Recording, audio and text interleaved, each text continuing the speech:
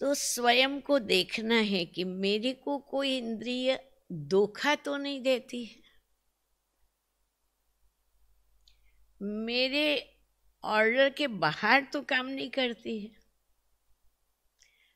अगर हम किसी को कहे कि देखो तुमको ये नहीं करना है, फिर भी वो करे तो क्या आता है? क्या आता है? गुस्सा आता है। गुस्सा आता है ना? हमारी इंद्रिय। हम ना करें तो भी बार बार करें तो क्या होगा? खुद पर भी क्या आएगा? गुस्सा ही आएगा। और गुस्से के बाद फिर क्या कहेंगे? लाचार हो जाएँगे। क्या करूँ? चाहता तो हूँ, लेकिन होता नहीं है। इस मजबूरी से बाहर आने के लिए हमेशा अपने को मज़बूत बना के रखने का और अमृत वेले से वो कमांड दिया जाता है। समझो, कल आपसे कोई मिस्टेक हो गई थी। आपने नहीं चाहा था फिर भी आपने किसी से ऐसा बोल दिया था। आपकी चाहना नहीं थी, फिर भी किसी की गलती को देख लिया था और आपका मन चला था। चकमक नहीं गिरी, वो अलग बात है हाँ? लेकिन मन तो चला था। और उस मन चलने के कारण डिस्टर्ब हुए थे।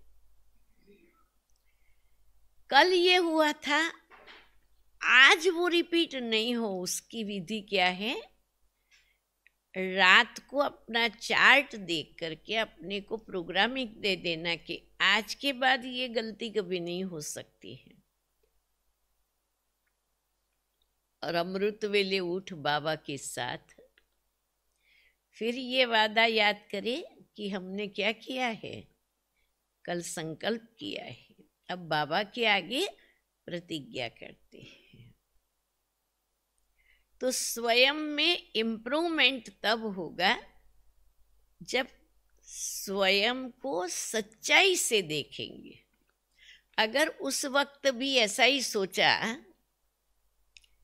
नहीं नहीं, ये कोई मेरी गलती नहीं थी। उसने जब ऐसा किया तो ऐसा ही होना था। ये उसकी गलती है। फिनिश। आप में कभी परिवर्तन नहीं आएगा। दूसरों की गलती का सहारा लेकर के अपने को छुड़ाना ये सच्चाई नहीं है। ये चलाकी है। ये चलाना है। और बाबा ने कहा, अगर चलाकी करेंगे, चलाएँगे तो चिल्लाना पड़ेगा अंत में।